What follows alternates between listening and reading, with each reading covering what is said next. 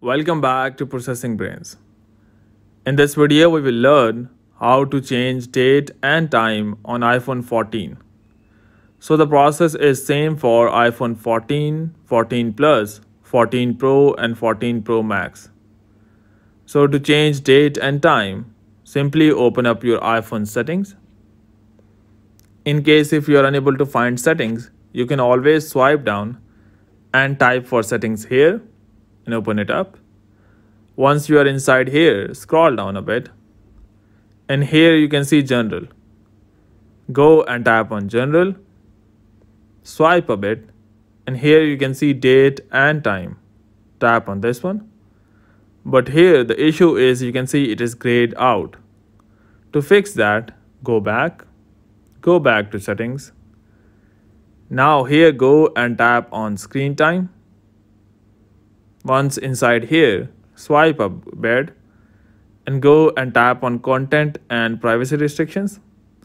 Make sure this is turned off. Once you have turned this off, go back. Here tap on change screen time passcode. Basically you need to turn off screen time passcode. Here go and tap on turn off screen time passcode.